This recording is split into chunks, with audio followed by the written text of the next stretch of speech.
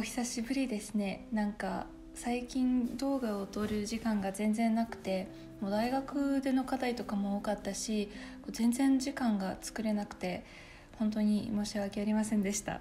で今日は皆さんから頂いた質問に答えていこうかなと思います。たくさんの質問をいただけて本当に嬉しいです。ありがとうございました。で大きく分けるとあの2つのグループがあってもう英語での質問と日本語での質問が多かったので2つの動画にしようと思います。全部1本の動画で答えるとちょっと長くなってしまうので、えー、今回の動画は日本語での質問だけにお答えさせていただいてで次の動画はまた次の次の動画になってしまうかもしれないんですけどその時は英語での質問にお答えしようと思います。では始めましょう。ここにあのパソコンが置いてありますのでちょっと読みますね質問を私もロシア語を喋ってるところみたいですあと日本文化に興味を持ったきっかけや日本のどんなドラマや映画を見て勉強されたのかも知りたいです Всем привет! Меня зовут Даша, мне 22 года и я очень люблю японский язык, Японию, японскую культуру и я больше не знаю, что сказать はいどうだったでしょうか私が喋っているロシア語はなんか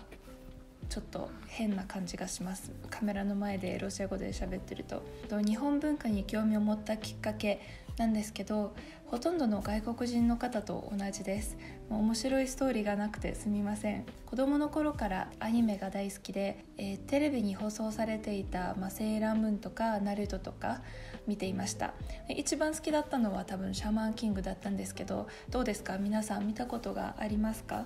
なんかナルトはもう大体私の世代の人はみんな知ってると思うんですけどもうシャマンキングが大好きって言ったらちょっとびっくりされることが多いですね、まあ、その後不思議の遊戯」とかあと「エレメンタル・ジェレード」とか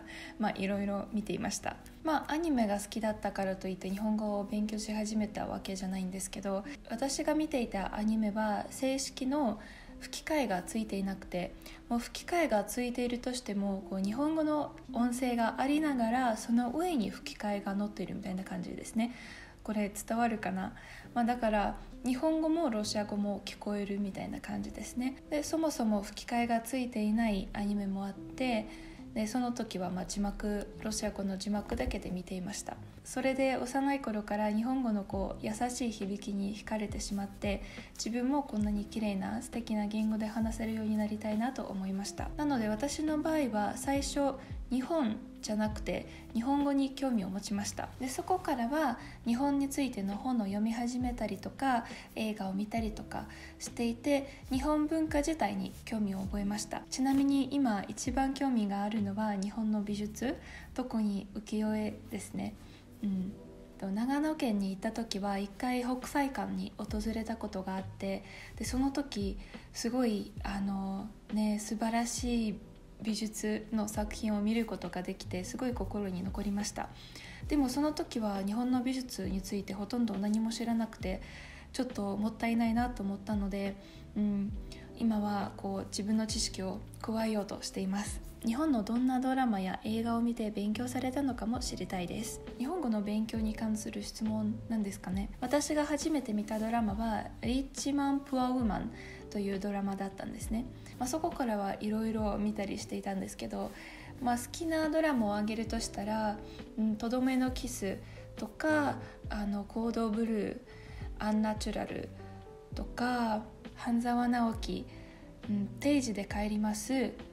まあ、というドラマですね。あと映画だったら「三丁目の夕日」が一番好きです。全てのドラマと映画は日本語で字幕なしで見ているので日本語の勉強にもとても効率的だと思います。1万人おめでとうございます。ありがとうございます。ダーシャさんがおすすめするロシア料理が知りたいです。私がおすすめするのはイクラが乗っているブリヌイです。大好き。日本にあるロシア料理のレストラン、えっと、吉祥寺のレストランとか、まあ、東京駅にもある気がしますね、まあ、そこに行ってみたら絶対ありますしで自分でも簡単に作れる料理なのでぜひ機会があったら食べてみてください。もし日本に住むんやったら田舎ですか？それとも都会？広島も後方に入れて。あ広島は行ってみたいですね。本当に1回も行ったことがないんですけど1回新幹線で通ったことがあってでその時はあ降りてみたいなと思ったんですけどさすがにできなくて、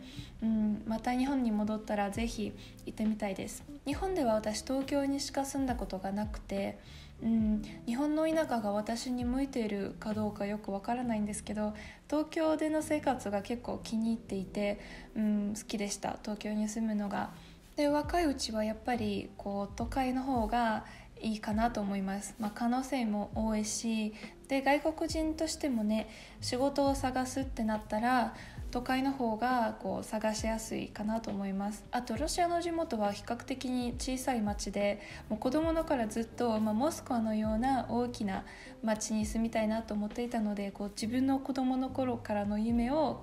ね、叶えてあげたいなと思います。なので多分日本に住むんだったら最初の方は東京。であ、まあ、もしかしていつか、まあ、ちょっと投資を置いてから うん田舎に引っ越すかもしれません。日本の田舎は住んだことがないんですけど見たことがあります。見たことっていうか、まあ、行ったことがありましてうん山口県とか、まあ、長野県の田舎の方とかあと、まあ、山梨とか、まあ、いろいろちょっと行ってみたりしていたのでもう結構好きでした。もうその雰囲気も好きだったしこう生活のリズムも好きだったのでうんだから田舎もいいなって思うところもあるんだけどもうやっぱりね若いうちは都会かな。日本語の魅力をあなたの視点で教えていただきたいです。日本語には日本文化が現れているというところがとても素敵だと思います。思いやりとか尊敬とかを言葉に込めたりとかこう言葉のちょっとしたニュアンスを通して相手との距離を縮めたりとかもう逆にあの距離感を保つと思ったりとかすることができるのでそそういうところはとてもまあ、気に入ってるというか素敵だなと思います。外国人からしたらちょっと慣れにくいところでもあると思うんですけどこうなんだろう私は日本語を勉強し始めたからはちょっと自分の言葉もう日本語だけじゃなくてロシア語で喋ってる時も自分の言葉をこう重視するようになった気がします。あと普通に発音が素晴らしい。私の中では水が流れているようなすごく耳に優しい響きっていうのが日本語の特徴ですね。勉強でやる気が起きない時どうしていますか？やる気が起きない理由によって対処法も変わってくると思うのでまずはなぜやる気が起きないのかについて自分にちょっと解いてみる。例えばもしストレスや疲れが溜まってこう力が出ない時は無理やり自分を勉強させるよりかはあえて何もしないことで体と頭を休ませることが大事なんじゃないかなと思います。そして何をやればいいかわからないとか何から始めればいいかわからない時はもうこうやらなきゃいけないことリストを書いてで優先順位をつけるようにしています。で優先順位の高いものから始める。もう始めるのが大事なんですけどここは。1万登録者おめでとうございます。ありがとうございます。発音やイントネーションの勉強練習について聞きたいと思っています。前の日本語学習の動画でも話したように私はシャドウイングをしています。でもシャドウイングをしていることで何が変わるかというとこう文章の全体的なイントネーションが良くなるんですね。ただ言葉一つずつのピッチアクセントは習ったことがないし聞き取りにくいしこう自分が間違えた発音で言っちゃったとしても気づかないことが多いです。それはロシアでの日本語教育の問題でもあると思うんですけど大学でピッチアクセントを習ったこともないしこう自分のイントネーションを直してもらったことがありません。でそもそもピッチアクセントの存在を知ったのも多分3年生ぐらいの時だったんですね。でもねピッチアクセントってもうちょっとずれていてもこう意味が伝わっちゃうからやっぱり長い間こうピッチアクセントの勉強を怠ってしまっていました、まあ、怠っていたというか何から始めればいいか分からなくてもどうやってピッチアクセントを勉強すればいいか分からなかったのでまあ、ピッチアクセント、まあ、イントネーションの練習はシャドーイング以外何もしていなかったんですね、まあ、なのでピッチアクセントの勉強をこう積極的に始めたのはここ最近のことです。まあ、どうやって勉強しているかというと、まあ、まずちょっとでも発音が気になる言葉があればそのピッチアクセントを辞書で調べるようにしています。で一回調べたら次言う時にこうちょっと意識して正しい発音で言うように頑張っています。あと新しい言葉を覚える時ももちろんこう意味だけじゃなくて正しいピッチアクセントも覚えるようにしています。あと例えば大学でこう発表の課題が出た時はこうスクリプトを書くじゃないですか。スクリプトを書いて言葉全ての言葉の正しいピッチアクセントを確認してこうつけるようにしています。それでもう確認して話す練習をしたりしています。あそしてたまに日本語の家庭教師の授業を受けたりしています。でその授業で何をするかというと私が選んだ記事を私が音読してであ先生があの私の発音を直してくれています。で私がこう正しく言えるようになるまでこう練習させてくれます。まあ、それは全部最近やっているわけなんですけどまだ全然うまくいってないし全然間違いが多いですね。でもやっぱりこう日本人みたいにできるだけ日本人みたいに話せるようになりたいと思っているのでこれからも頑張ります。将来の夢。うん難しいですね。うん、私は子どもの頃からずっと通訳者になりたかったんですね。外国語の勉強もずっと大好きだったし、まあ、うまくできていたのでもう英語が好きだったら通訳かなっていうなんかつながり私の中のつながりだったんですけどあもうずっとずっと通訳者になりたいと思ってたんですね。で2年生の時にこう通訳の仕事をさせていただいて楽しかったは楽しかったけどやっぱり大変だしこうちょっと自分には向いていないなって、まあ、気づきました。でそこからはいろいろ何回か通訳の仕事も翻訳の仕事もさせてもらってたんですけどやっぱりこうちょっと違うなって思いました、うん、で正直に言うとその時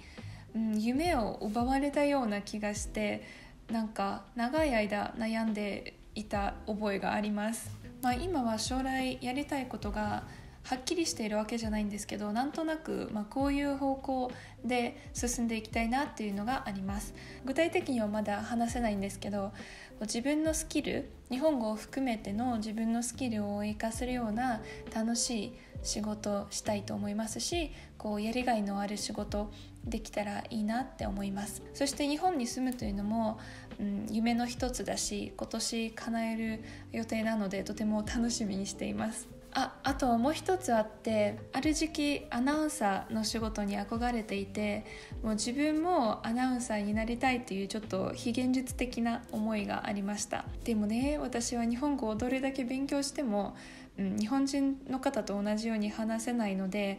まあそれは本当に夢って感じです。日本語ロシア語英語を話す時にそれぞれ性格は変わる？性格は変わらないと思うけどもう物の言い方とかこうなんだろう人との接し方が変わると思います。なので、まあ、周りの人からしたら私が話してる言語によって私の印象が変わってしまうかもしれないんですけどやっぱりこうそれは表であってもう性格、ね、内面が変わらないと思いますね。好きな香水とかありますか？うん。あります。基本的に甘い系の香水が好きでまあいろいろあるんですけどもう一番好きなのは白のあのホワイトティーとサボンという香りです。日本の好きなところを教えてください。えいくらでもありますよ、うん、でも一つ挙げるとしたらこう街の風景。街の風景が永遠に眺められるストレスが溜まった時にどうやって対処しているのか教えてほしいです、まあ、最近は寝るのが一番効率がいいんじゃないかなってちょっと思っていますね。あと好きな人とお話しする、まあ、好きな人といっても、まあ、家族の人でもいいし友達でもいいし恋人でもいいけどなんかこう自分の気持ちや自分の悩みとかもう嫌になっていることとか全部こう誰かに信頼できる人に打ち明けてあのメンタルの面でサポートしてもらったりしています私は、うん、あと普通にピザ頼んで映画を見たりとかそういうのもおすすめできますね。はい今回の動画はここまでです。私のカメラの充電が切れそうなので 終わりにしようと思います。全ての質問に答えきれなかったんですけど少しでもこの動画を通して私のことを知っていただけたなら嬉しいです。こういう動画もこれからはやると思うのでその時また質問があれば是非聞いてみてください。最後まで見ていただいてありがとうございました。また次の動画まで。